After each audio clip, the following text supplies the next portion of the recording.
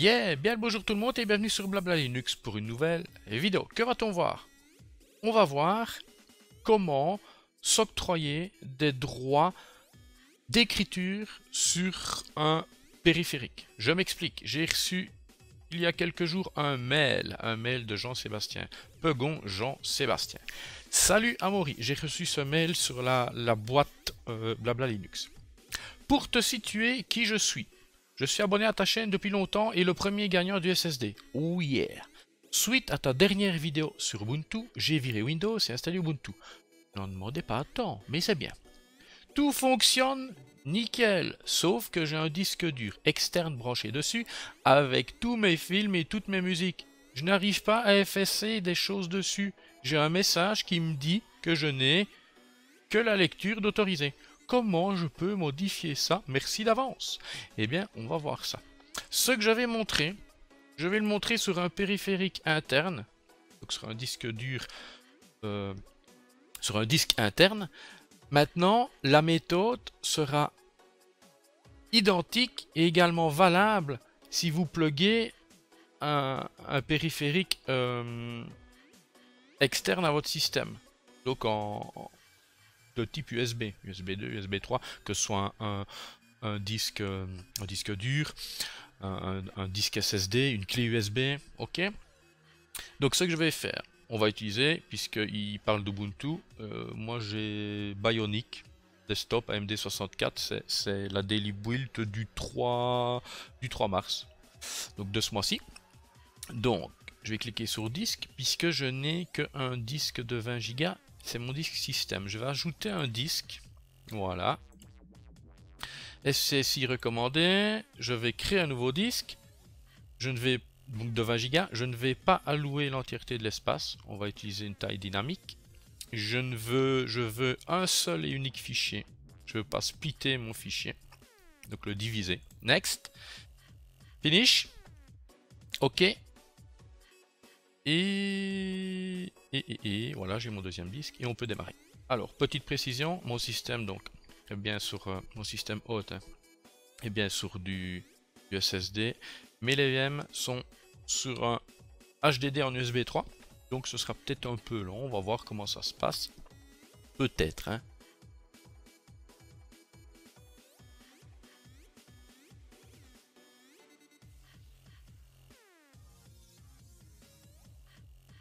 Patiente.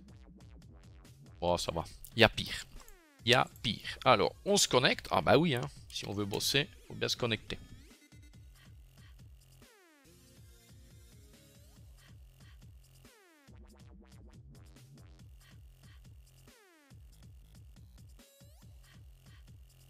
Alors tout ce que je vais montrer, pas de terminal, uniquement avec des petits utilitaires graphiques.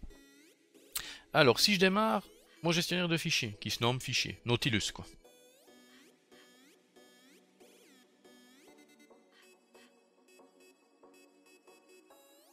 Et en même temps, on va voir si la daily build fonctionne bien. Alors si je vais sur autre emplacement, ben voilà, on ne voit pas mon disque. On voit mon premier disque, mon disque système, mais on ne voit pas le deuxième, celui que je viens de créer. Ah ben non. Pour ça, on va avoir besoin de j'ai parted, donc j'ai par. Voilà. On me propose de l'installer via logiciel, chose que je vais faire. Je l'installe, ça va aller vite. Je m'authentifie, je valide par entrée ou.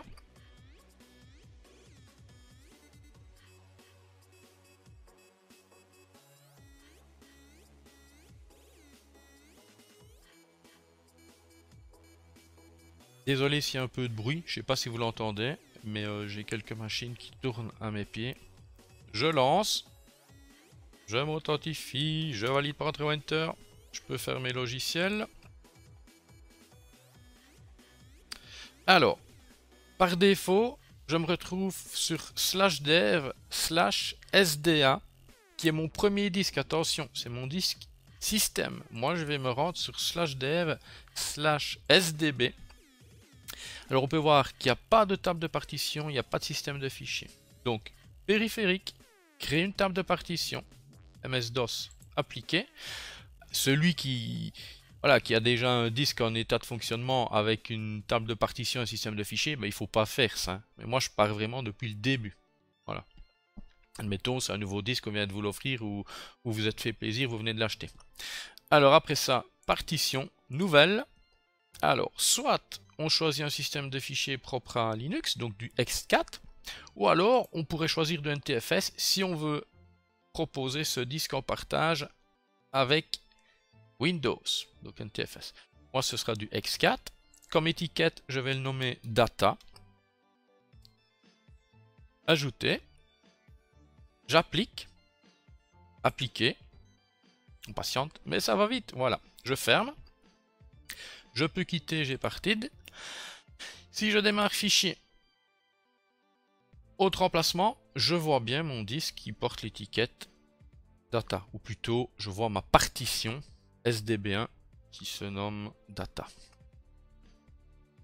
Si je rentre dedans, le dossier est vide, ok, et regardez, je peux rien faire. Je n'ai pas de droit en écriture. Alors ce qu'on va faire déjà, on va utiliser l'utilitaire qui se nomme disque.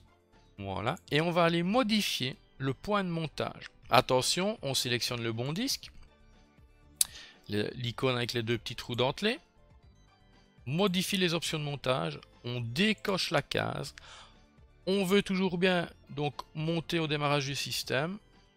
On veut bien l'afficher dans l'interface utilisateur. Euh, donc attention, cette case-là ne fait pas en sorte ou non bah, qu'il s'affiche ici sur le bureau. Hein. Ok, en fait, il s'affichera, euh, je pense, quand ils disent dans l'interface utilisateur, je pense que c'est ici. Voilà. C'est ici. Ok. Alors, ce qu'on va faire, regardez. Point de montage. C'est pas dur, je lance fichier.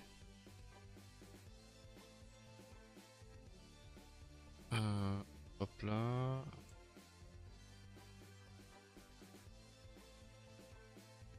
Terminal. ls. Ah ok.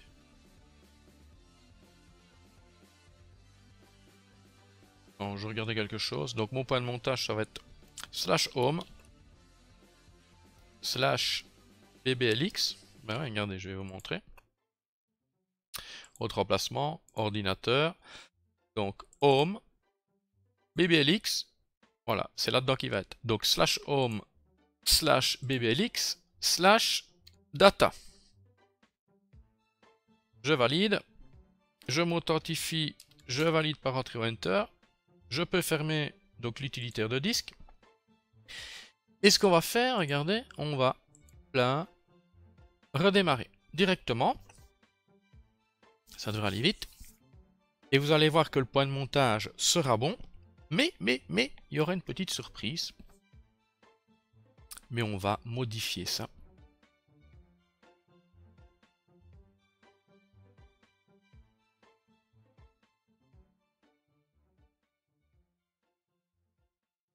Oh, l'USB ça va? L'USB euh,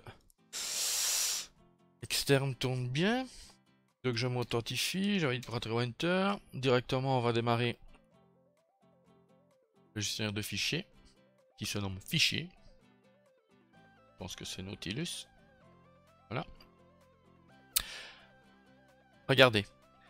Data. Yeah. Donc autre emplacement, je vois toujours disque et dans mon dossier personnel, je vois bien mon point de montage. Le problème, c'est qu'il y a un, petit cadenas. Je peux rentrer dedans, mais je peux toujours pas, j'ai pas de droit en écriture. Donc, comment on va faire? Eh bien, c'est simple. On va appeler le terminal. Voilà. Terminal. On va faire un sudo Nautilus.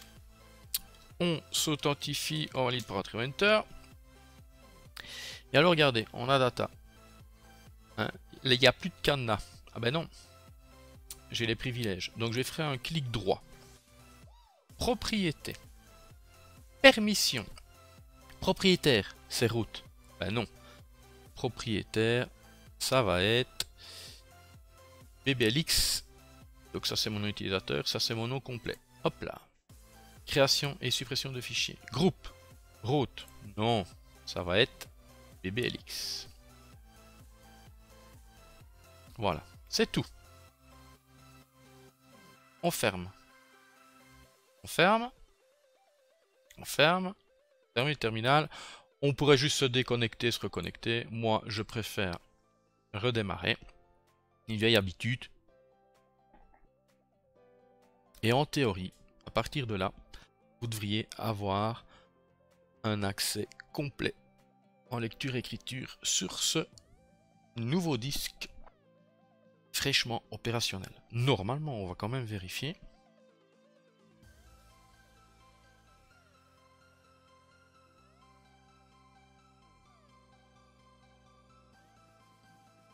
On s'authentifier, on valide Hunter. Et on va vite le savoir. Fichier. Ah, il n'y a plus de canne. Clic droit. Ah, nouveau dossier. Essai. Yeah. Bah, ça a l'air de marcher. Est-ce que je vais faire faire ça? Euh... Fenêtre, voilà. Euh... Admettons, je sais pas, moi ça.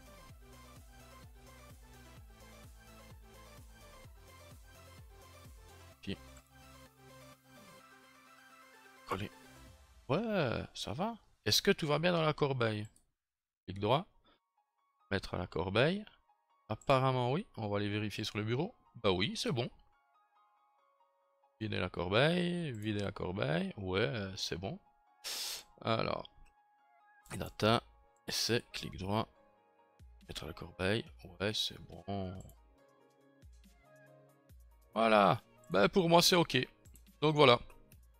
J'espère que cette courte vidéo vous aura plu et j'espère que ça va en dépanner euh, certains. Pas que Begon, Jean, Sébastien. Sur ce, je vous dis bye bye et à une prochaine. C'était Annie pour Blabla Linux, toujours sous Windows. Oh, sacrilège, sacrilège. Allez, ciao.